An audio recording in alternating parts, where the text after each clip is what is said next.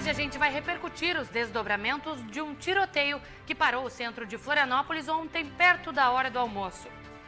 E a Polícia Federal aqui de Santa Catarina desarticula grupo que contrabandeava vinhos argentinos para o estado. A gente vai falar ainda sobre os, o valor do dinheiro. 100 reais hoje são os mesmos 100 reais de 10 anos atrás? Tem ainda sugestões sobre o que fazer com o dinheiro do imposto de renda. Os detalhes das condições do tempo e o lançamento de música por aqui. Eu sou Gabriela Milanese e este é o SC Acontece, que começa agora para todo o estado de Santa Catarina.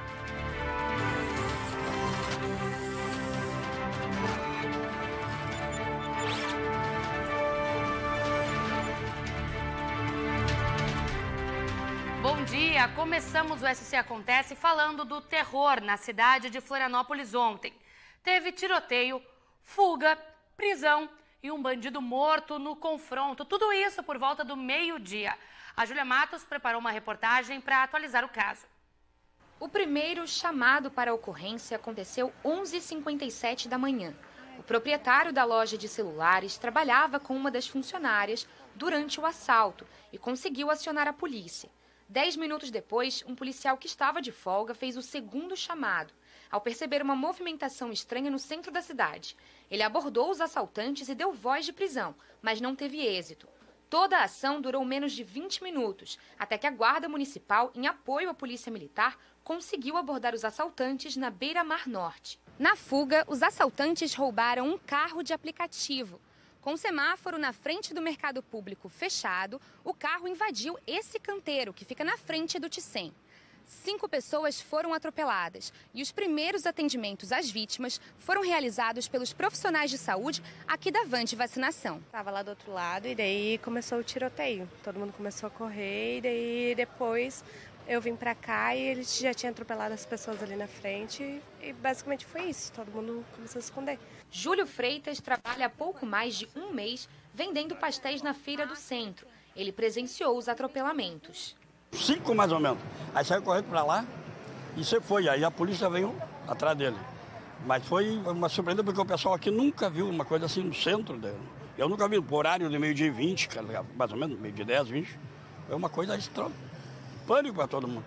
O motorista de aplicativo foi acionado pela polícia e conseguiu desabilitar o veículo roubado, o que foi essencial para a ação de segurança. O proprietário do veículo, é, é, de uma maneira sagaz, ele conseguiu identificar né, que tem, tem esse problema, conseguiu acionar o mecanismo de bloqueio remoto do, do veículo e é, é, isso foi extremamente crucial porque conseguiu fazer com que o veículo parasse, fosse desabilitado e tivesse uma intervenção mais rápida da, das forças de segurança. Um dos assaltantes foi baleado e morreu. Mas mesmo depois de levar um tiro durante o confronto, ele ainda dirigiu alguns quilômetros na tentativa de fuga. O outro tentou fugir, mas foi pego na Praça Celso Ramos. Os dois juntos possuem mais de 130 passagens pela polícia. É, infelizmente, a reincidência ela é, é um, mal, né? É, isso precisa ser revisto em outros níveis, né? que fogem até a alçada policial, mas o masculino que entrou em óbito tinha 78 passagens policiais, ele estava com a tornozeleira eletrônica rompida, era né, é, é, é foragido do sistema prisional, ele tinha, além dessas, dessas infinidade de, de, de, ocorrências geradas contra ele, estupro, roubo, furto, e estava em liberdade mais uma vez, já era reconhecido. O outro que foi preso também tem 56 passagens policiais, também vários mandados de prisão com, é, ativos contra ele que foram já cumpridos. Uma série, um histórico extenso né, que só denota que realmente falta um pouco mais de preciosismo quanto à prisão desse tipo de pessoa. As vítimas do atropelamento foram encaminhadas ao Hospital Celso Ramos e seguem estáveis. Doze celulares roubados foram recuperados e as imagens de segurança da loja serão entregues à Polícia Militar. O corpo do assaltante que conduzia o veículo passou por perícia e o criminoso capturado foi levado à delegacia de polícia e vai aguardar inquérito. Agora toda essa investigação é levada para a Polícia Civil, com todos esses elementos, tanto da situação que aconteceu aqui até o desfecho da ocorrência na Beira-Mar, faz um inquérito policial para apurar todas as circunstâncias e ver as responsabilidades, principalmente daquele que foi preso, que agora com certeza terá que é, arcar com o rigor da justiça. Vejam só, todo, toda essa confusão em Florianópolis ontem por volta do meio-dia. Os dois indivíduos, um com 56 passagens policiais e o outro com 78. É muita coisa, né, gente? Agora a gente vai falar com a Júlia, que está ao vivo na delegacia de roubos, que é onde vai acontecer essa investigação. E explica pra gente, Júlia, como é que a polícia vai proceder de agora em diante. Boa tarde. Boa tarde, olá Gabriela. Eu estou aqui na Delegacia de Repressão a Roubos para falar com a delegada Ana Pires, que vai atualizar a gente um pouquinho sobre os próximos passos da investigação. Delegada, os depoimentos já foram feitos, é isso? Sim, é, ontem foram dois autores, né? Um deles veio a óbito em razão do confronto que resolveu traçar com a Polícia Militar, com um policial militar que estava de folga, e o outro foi preso em flagrante. Ah, na tarde de ontem mesmo, todas as diligências é, investigativas, né, obtenção de imagens, local de crime foram realizadas pela equipe de investigação. Ah, tudo se, se consolidou no flagrante policial que já foi encaminhado ao Poder Judiciário. Certo. E agora o que a gente pode esperar dos próximos passos? O inquérito vai para frente? Como que é? Hoje o preso está sendo apresentado na audiência de custódia para verificar a legalidade da prisão. A gente acredita na manutenção da prisão, porque foi um crime atípico, grave, de verdade, né, que não costuma ocorrer em Florianópolis.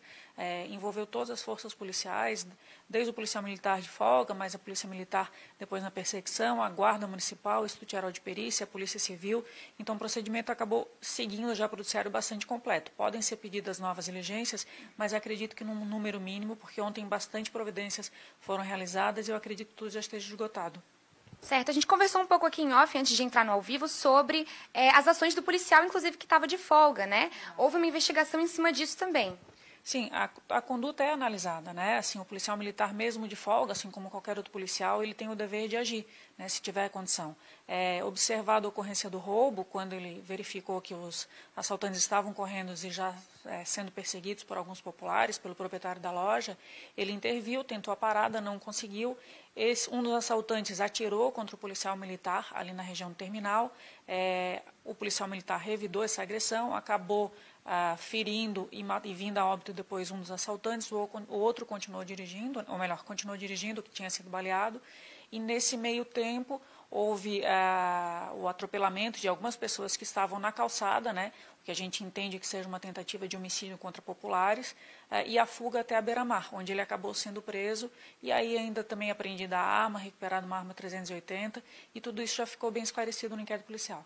Certo, obrigada, delegada. Essas são as informações. Gabriela, só recapitulando, os telefones celulares foram recuperados, já estão com o dono e proprietário da loja, né? As imagens da loja vão ser é, cedidas à Polícia Militar essa tarde e a investigação vai para frente.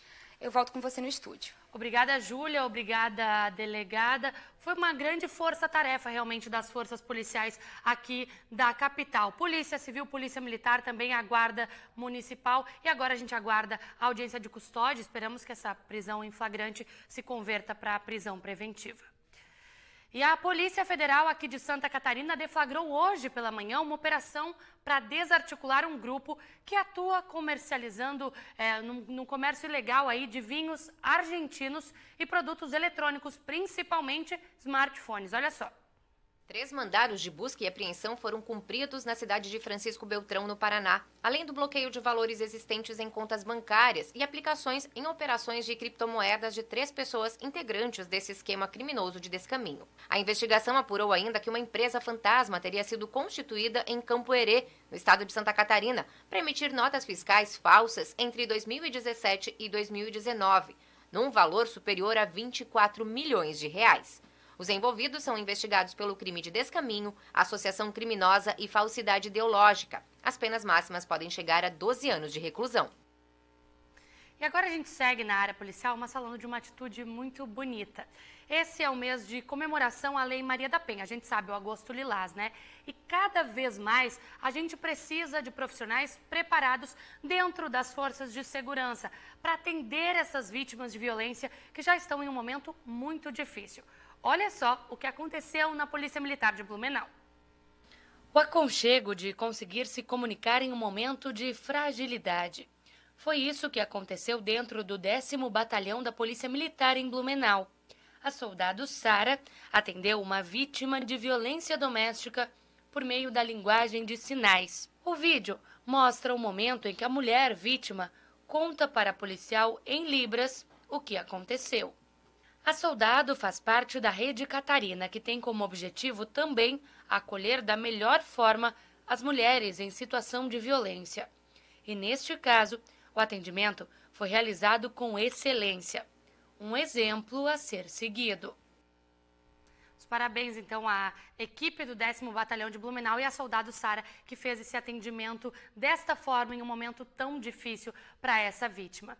E no próximo bloco a gente fala da polêmica com mototáxi em Florianópolis. Pode ou não pode? Não sai daí que a gente já volta. Agora a gente vai falar de imposto de renda, que é sempre um assunto que gera dúvida para as pessoas, né? Para onde vai o meu dinheiro? Com certeza você já se perguntou, né? E uma iniciativa aqui de Santa Catarina quer incentivar as pessoas e as empresas a destinarem os valores para projetos sociais que atendam crianças e idosos e, com isso, premiar as atitudes. É o prêmio Amigo do Leão. Por isso que eu tô aqui e a gente vai conversar hoje com a Emanuele, que vai explicar pra gente, Emanuele, que projeto é esse, como é que funciona. Seja bem-vinda. Boa tarde, Gabriela. Boa tarde, público. A gente está muito feliz de estar aqui e divulgar que esse é o primeiro prêmio Amigo de Leão, né, realizado em Santa Catarina. É, justamente como você falou, Santa Catarina é um, um, estado muito vasto, né? E a gente sabe a importância, né, as notícias que você trouxe agora também, de ter projetos que impactem, né, projetos sociais, culturais que impactem a vida na ponta. Então, esse prêmio surgiu para valorizar as iniciativas que trabalham com fundo de apoio ao idoso e também com fundo de apoio à criança ou adolescente. Tá certo. E quem pode participar? A pessoa foi lá, declarou o imposto de renda uhum. e agora o que fazer? Então, esse prêmio vai premiá-la pela, pela sua atitude né, de doar esse recurso. Então, podem se inscrever tanto as pessoas que estão doando para esses fundos, sejam pessoas físicas ou empresas de pequeno, médio ou grande porte, a gente até vai separar as categorias para poder premiar todo mundo, então o quanto a pessoa pode contribuir a gente vai estar tá reconhecendo. E a novidade é que também vão poder se inscrever os municípios, os captadores e contadores, que são pessoas que sem, é, sem esses entes a gente não conseguiria realizar o fundo, né? E também as iniciativas. Então, se você tem um projeto social, cultural, esportivo, quiser se inscrever na categoria de campanha de arrecadação também pode, ou de organização social. E como é que faz para se inscrever? Ah, vocês podem procurar o nosso Instagram, arroba Amigo do Leão. Lá vai ter o link certinho do nosso site para você se inscrever gratuitamente até dia 31 de agosto. Pode se inscrever pessoas que doaram para recursos que vieram para Santa Catarina. Então, a novidade é que é mesmo que você seja, por exemplo, uma empresa de fora de Santa Catarina, a gente sabe que tem muito isso, que aporta recursos para projetos catarinenses, essas empresas também podem se inscrever. A gente sabe, né, Emanuele, que o trabalho uhum. é gratificante de estar ajudando uma instituição uhum. de idosos ou crianças já é a premiação. Sim. Mas como é que vocês vão premiar essas pessoas? Então, os critérios são objetivos, essa é uma ótima pergunta, muita gente tem nos perguntado isso né, nas nossas redes. Os critérios são objetivos e a gente vai fazer um equilíbrio, uma conta, tá tudo bem escritinho no site, tanto em, a gente vai contabilizar tanto quanto, o quanto que a pessoa doou, a quantidade de recursos, mas também a quantidade de iniciativas, para a gente poder equilibrar, porque a gente sempre sabe que tem aquela empresa de grande porte, né, que tem bastante recurso para apoiar, ou um município, que às vezes tem municípios maiores com uma arrecadação maior, mas também aquela pessoa que às vezes pode doar só um pouquinho, mas doou para vários projetos. Então a gente vai fazer um equilíbrio entre esses objetivos. Importante. Então é isso. Quem declarou o imposto de renda quiser ajudar a participar desse projeto e quem sabe ainda ser é. premiado, acessa lá arroba Amigo do Leão, é isso, né? Isso, arroba Amigo do Leão. E é importante dizer que todos os premiados vão ganhar um selo válido por um ano para colocar em todos os seus produtos, selo Amigo do Leão. Tá certo, Emanuele. Obrigada pela participação. Obrigada a você. Olha só, agora, já que a gente está falando em dinheiro, imposto de renda, o assunto é a inflação, que vem corroendo o poder de compra, de compra do trabalhador brasileiro. Só para ter uma ideia, ao longo dos anos, as notas de 100 e 10 reais perderam grande parte do poder de compra que tinham. Você de casa já deve ter sentido isso na pele ou no bolso, não é? Vamos acompanhar na reportagem. É um dos efeitos mais importantes da inflação a perda do poder de compra de uma moeda. Nas ruas, muita gente é categórica em afirmar que antigamente comprava mais produtos com uma nota de 100 reais do que adquire agora. Se eu te der uma nota de 10 reais, pega a nota de 10 reais, o que, que você consegue comprar no mercado? Um litro de leite, dois pães. Agora, se eu te der uma nota de 100 reais? De 100 reais, consigo comprar arroz, um pouquinho de, de guisado, né, para fazer a mistura, legumes, muito pouco, legumes também, uma dúzia de ovos. Sai com uma sacolinha do supermercado ou duas, o máximo. Não dá para fazer nada com isso aí, isso aí não tem valor algum. Eu entro no mercado, com, com sai com três sacolinhas, já se foi, 100 reais há muito tempo já. Antigamente, né, comprava muita coisa, hoje está tudo tão caro por, causa, por conta da inflação e tudo mais. E tá difícil. É, o nosso dinheiro atualmente está bem desvalorizado. Com uma nota como esta de 100 reais, não tem muito poder de compra. Para se ter uma ideia, em 1994, quando o Plano Real foi lançado, uma nota como esta pagava o salário mínimo de aproximadamente 65 reais e ainda voltava a troco. Hoje são necessárias 12 notas como esta e mais 12 reais para completar o salário mínimo médio de R$ 1.212. Em 28 anos de plano real, a nota de 100 reais perdeu valor e vale o equivalente a R$ 13,00 em 1994, uma desvalorização de 644,5%. Com a inflação de 33,6% acumulada nos últimos cinco anos, os consumidores viram os preços dispararem. Para piorar, os itens da cesta básica subiram 74% em média, no mesmo período. Fatores que contribuíram para a desvalorização do real. Além disso, especialistas apontam que outras situações, entre elas o desequilíbrio das contas públicas, impactaram para o aumento da inflação. Essa questão acontece porque o Brasil não está, nem agora, nem ultimamente, controlando as finanças públicas, as contas públicas, como deveria. Então, gasta mais do que arrecada. E, além disso, você tem a, a, a complexidade do atual, né, do que está acontecendo no mundo, com a questão da pandemia, a questão da, da Ucrânia. Isso tudo faz a nossa moeda é, desvalorizar em relação ao dólar, por exemplo, né, o que torna nossos preços aqui é, proibitivos. Né? É, nós estamos passando por um momento muito sério e para resolver isso aí, nós vamos ter que apertar muito os cintos. Né? Para economizar e fazer render o pouco dinheiro que se ganha no mês, a dica é listar as prioridades no orçamento, para o mês financeiro não acabar mais cedo. O Brasil tem 33 milhões de pessoas que não conseguem se alimentar. E tem mais, muito mais gente que não tem certeza se terá a próxima milhões de pessoas que terão se terão ou não a próxima refeição. Veja qual é a tua necessidade alimentar da tua família e gaste esses 100 reais muito bem gastos. E antes de gastar, faça uma pesquisa. Hoje pela internet você consegue ver preços né, em vários em vários mercados e daí você pode escolher sem bater muita perna na rua, escolher aquilo que é melhor para a tua família.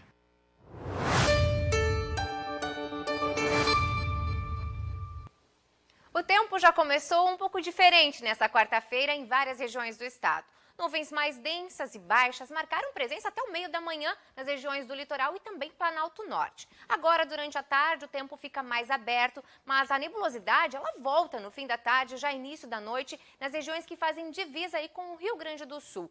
E as temperaturas continuam elevadas, como já tem ocorrido nos dias anteriores. Vamos dar uma olhadinha? Olha só, em Florianópolis, apesar da nebulosidade, a gente tem máximas aí na casa dos 25. Em Laguna, lá no sul, também temos a presença de nebulosidade com 26 graus graus de máxima. Em Lages, na Serra, a nebulosidade também está por lá. E olha só, gente, máximas de 20 graus, né? O que para essa época do ano, inclusive, é bem alta realmente para essa região. Lá no oeste também, 26 graus em Xanxerê, em Joinville, 25 graus e Itajaí, 24 graus. E esse tempo seco, com variação das temperaturas entre altas e baixas, interfere muito na nossa respiração. Você sabia disso? Bom, por isso a gente conversou com a doutora Maria Helena, que é otorrinolaringologista, e ela vai dar dicas para a gente cuidar da nossa saúde. Olha só.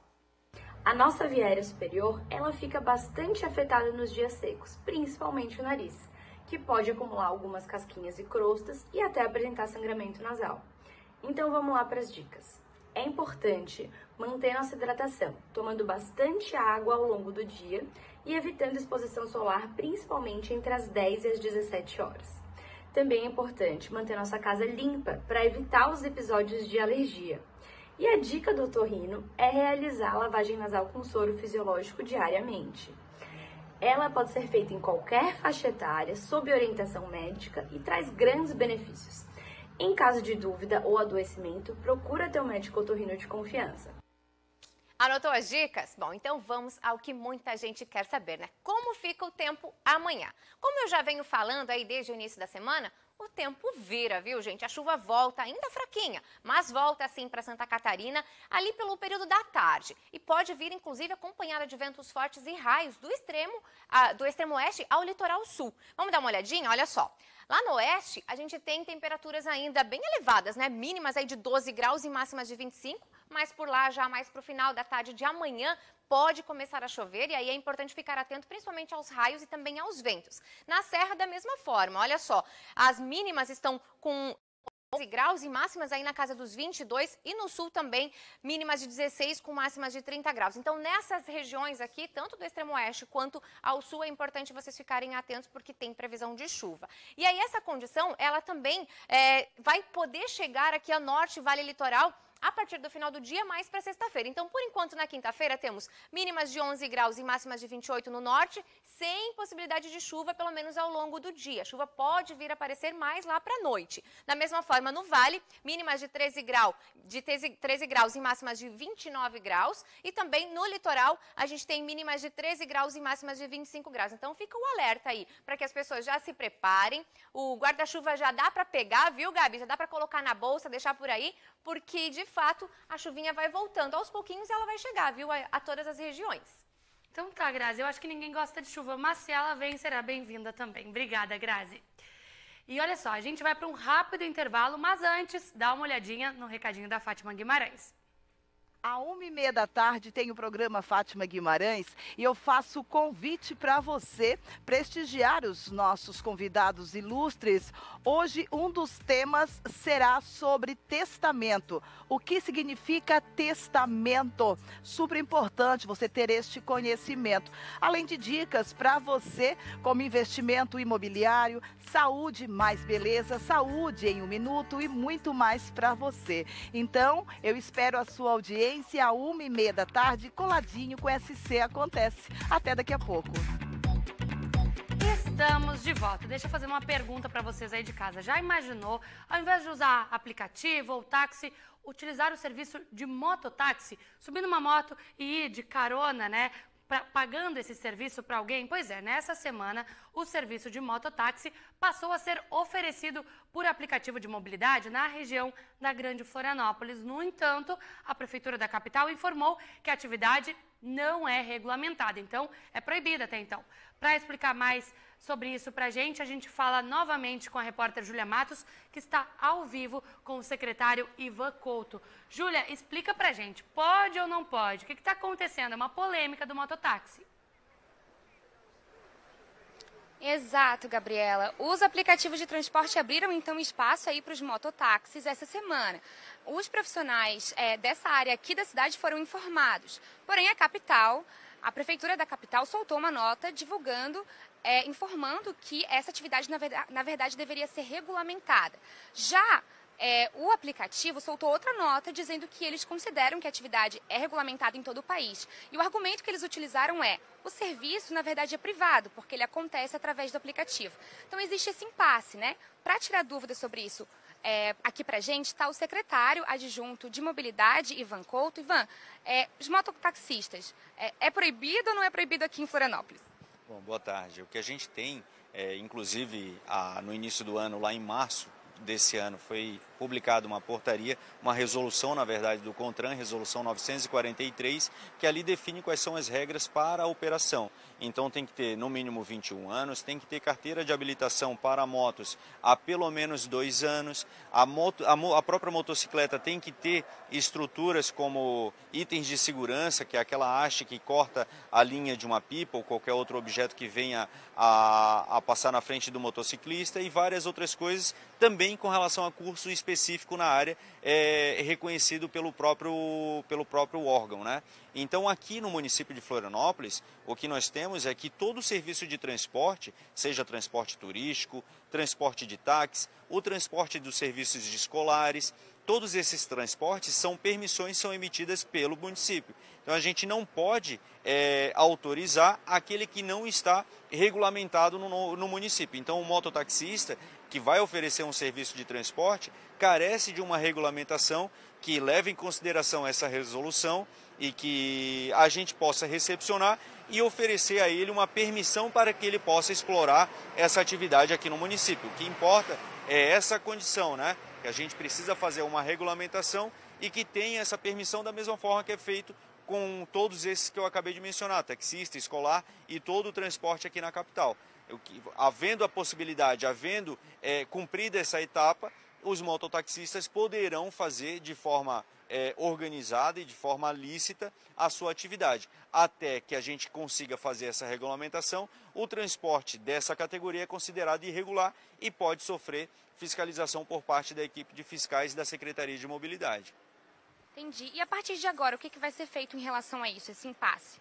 Nós estamos buscando as definições, está no setor jurídico da Secretaria da, da, de Mobilidade, para que a gente possa verificar qual é a, a, a necessidade, como que a gente vai fazer a regulamentação, se vamos fazer essa regulamentação para que a gente possa autorizar e permitir que essas categorias possam explorar essa atividade de transporte aqui no município, levando em consideração as regras já do governo federal, que é pelo CONTRAN, das características mínimas. E aí a gente vai verificar se aqui dentro a gente vai impor alguma outra é, característica ou não.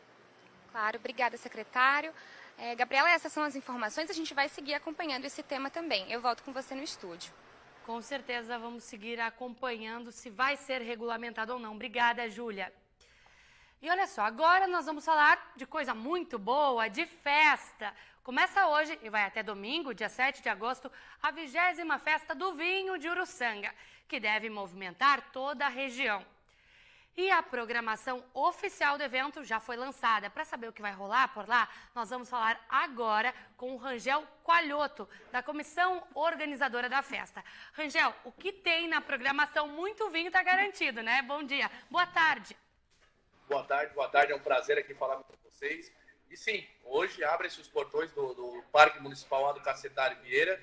E com certeza a festa do vinho, essa vigésima edição, que já vem marcada aí depois de dois anos de uma pandemia, esses encontros e reencontros aí no nosso parque, bem recheadas de atrações do movimento cultural, gastronômico, ah, das vinícolas e, claro, dos shows nacionais que fazem que todo o estado de Santa Catarina se mobilize para que Uruçanga seja o foco dessa atividade festiva né, nesse período dos dias 3 a 7 de agosto. Rangel, e para o pessoal que gosta de um show, gosta de aproveitar uma música, já dá para contar para gente quais são os shows que vão ter por aí? Com toda certeza. Hoje, na abertura, nós teremos Armandinho e Banda no nosso palco principal. Amanhã, a dupla Henrique e Juliano. Na sexta-feira, teremos dois shows nacionais, Ira e Nenhum de Nós. E no sábado, o cantor Zé Felipe. E também no domingo, ah, fechando o evento né, com portões abertos, gratuito, a Banda Alheia, que é uma banda muito conhecida aqui na, no estado de Santa Catarina, estará fechando com chave de ouro esses cinco dias de muita festa. Olha, mas a programação tá recheada e tem para todos os gostos, né? Vai do sertanejo ao rock nacional. E explica pra gente, os ingressos. Dá para chegar lá na hora, comprar ingresso para entrar no pavilhão? Como é que funciona? Olha, não tem desculpa para não ir. Através, através do site minhaentrada.com.br, você, no conforto do seu lar, você consegue comprar o passaporte para todos os dias ou o ingresso individual. Também nos pontos de venda do Minha Entrada, aqui espalhados na região, também você encontra. E se você ah, de última hora decidiu, quer ir ao Parque Municipal, tem a bilheteria, estará disponível lá. Só não garanto se vai ter um camarote disponível, se vai ter uma VIP disponível, mas a pista eu garanto porque o Parque Municipal de Uruçanga é um parque muito grande, tem, tem como acolher em torno de 8 a 10 mil pessoas. E vou dizer, vai lotar o parque. Só para a gente encerrar, Rangel, quantas vinícolas vão estar participando do evento? Olha, são seis vinícolas, tá? São mais 25 entidades gastronômicas e mais todas as empresas de gastronomia, outras empresas de outros tipos de bebida estarão no parque. Então, assim, ó, se você está com dieta, esquece do dia 3 ao dia 7 de agosto, porque nesse dia a gente vai se entregar a boa gastronomia típica italiana e, claro, um excelente vinho, um espumante Gate. Tá certo, muito obrigada. Fica aí o convite para o pessoal de casa. Comida italiana é sempre uma delícia, eu sou suspeita para falar. O convite, então, de hoje até domingo, dia 7, com vários shows nacionais, a festa do vinho de Uruçanga. Obrigada, Rangel. Um abraço, esperamos todos vocês. Abraço, tchau, tchau. Olha que delícia, né, gente? E olha só, hoje a gente está recebendo aqui no estúdio a dupla Low e May. especialmente para lançar uma música nova. É isso, né, meninas? As meninas já estão aqui me esperando. Sejam muito bem-vindas no SC Acontece. Me contem um pouquinho. Vocês são irmãs, são da mesma família? Desde quando cantam juntas? O pessoal de casa também quer saber como é que essa dupla surgiu. Primeiramente, a gente quer agradecer né, a oportunidade de estar aqui com você no programa SC Acontece pela primeira vez, né, que a gente está aqui. E então nós nós somos irmãs, somos irmãs e a gente canta assim desde criança, mas assim seriamente a gente está há que uns três a partir de 2019 a gente é, lançou a primeira música autoral, né? Nossos, a música começou assim na nossa vida desde criança, porque nossos pais eram músicos, né? Então a gente cresceu assim com nesse nesse meio, né? E desde 2019 que a gente começou a, a, realmente levar mais a sério, né? E quem é a Lou, quem é a May? Conta pra gente. Eu sou a Lou. E eu sou a May. e qual é o estilo que vocês mais gostam de cantar? Pop leve. É, o nosso estilo é pop leve. É. E essa música que vocês estão lançando agora, é, quem escreveu ela? É, vocês já estão lançando? Quando que ela começa a ser tocada por aí? Conta um pouquinho. Então, a música que a gente veio divulgar aqui para vocês, né, é Pintar de Luz, o nome dela. E ela foi lançada no dia 28 desse mês. E ela já está disponível nos aplicativos de música, no Spotify, no Deezer. Tem um clipe maravilhoso lá no muito YouTube, bonito. gente. Sério, esse tá clipe, muito lindo. Esse clipe, inclusive, a gente gravou em Balneário e também tem uma parte aqui em Floripa, então Olha, tá bem legal. Tem uma participação aí de uma galera muito top também, da Millennium, que é o pessoal de dança lá de Itajaí. Galera super influente aí nas redes sociais, com milhões de seguidores. Então, assim, uma galera muito massa que fez parte do clipe, né? Olha que legal. Pintar de luz, então vamos dar uma palhinha para o pessoal de é casa é claro. ouvir? Com certeza. Essa é pra você que algum dia já sonhou tão grande, mas ninguém acreditou, nem você, nem você. E viu o tempo escorrer por suas mãos e agora acha que já não tem mais solução, mas tem, ah, se tem. Decida o que você quer. Se cair, vou te ficar de pé. Não deixe que os outros decidam o que você é. Não desvie do caminho, não crie desculpas. Faz parte ter espinhos, mas a vida é sua. Ainda com os tropeços, pois eles que vão engrandecer sua história, iluminar sua missão. Vem comigo que no impossível concorrência é menor. E contigo a nossa força é ainda maior. Sei que ao teu lado serei ponte entre montanhas e não muro. Vamos pintar de luz tudo que for escuro.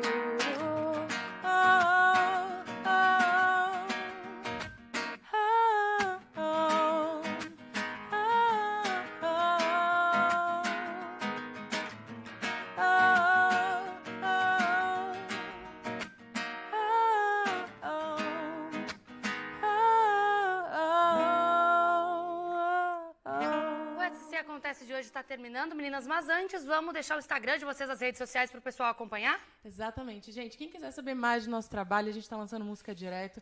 É só clicar lá e digitar Low e May, L-O-U-E-M-A-Y, em todas as redes sociais, Spotify, YouTube, tudo isso aí. Tá certo, então, Low e May no Instagram. Vamos terminar com música por aqui? Vamos, bora lá. Tchau, tchau, gente. Até amanhã, meio-dia e 50, espero vocês.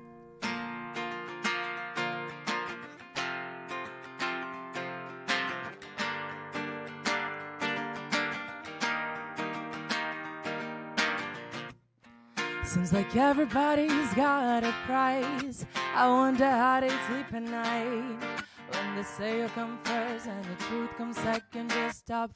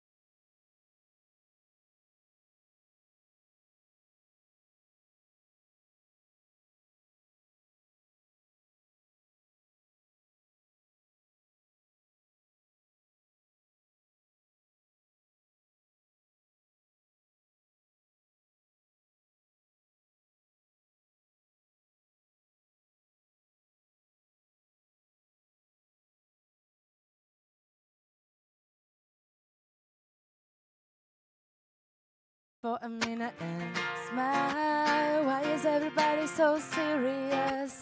Acting so damn mysterious. You got shades on your.